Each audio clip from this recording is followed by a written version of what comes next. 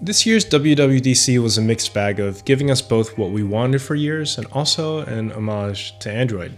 Not only did they copy both Samsung's phone mirroring called Smart View, but they're finally giving us the ability to arrange icons where we want, which is I don't even know how long Android has been doing that for on their phones and their tablets.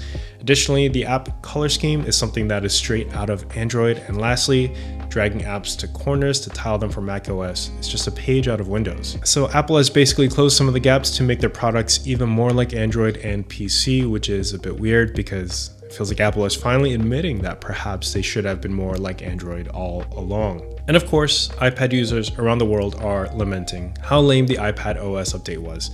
I don't know why tech reviewers hype up iPad OS before every WWDC, simply because Apple's philosophy is absolutely clear on the use case for keeping the iPad strictly an app-based OS. I personally think Stage Manager is awesome and I use it 100% of the time, but I don't think we'll get anything more out of iPad OS. With that said, there are five things I am actually excited for as someone who has used Apple over the last decade. First, they're combining the ability to add reminders to iCal. I don't even think they covered this, but you can see on their website that they're now finally incorporating the two.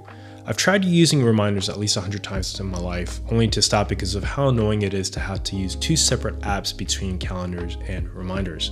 Secondly, I think tap tapbacks are some of the easiest and best ways to engage with a message and let the other party know your reaction to their message. Apple is finally giving us more options, but you must know that this too was already available on WhatsApp. Thirdly is their ability to schedule messages later, which is quite useful and thoughtful of Apple to provide.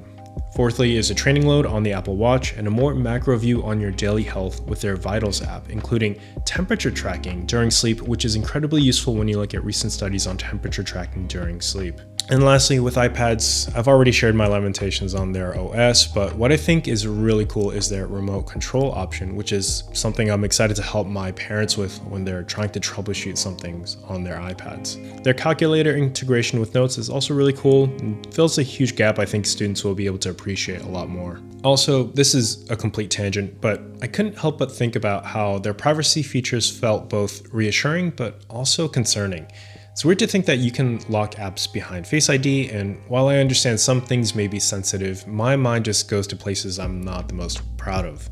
I know that not all things I want to keep private are necessarily mischievous, but I can also see how personally for myself, and especially for kids, anything that I want to keep hidden is probably not good for me. But that's just my personal thoughts, and I'm also married, so that adds to the equation. And that's it. As with most WWDCs, I finish watching them feeling both impressed and not at the same time. But I don't think that's necessarily an Apple thing. Apple Intelligence, which was a huge part of WWDC this year, feels very much like a Siri 2.0 that I may use sometimes, but won't become an integral part of my life. And as with all WWDCs, we watch it, experience a few incremental changes in the fall after an update, and move on. Thanks for watching, and I'll see you guys in the next one.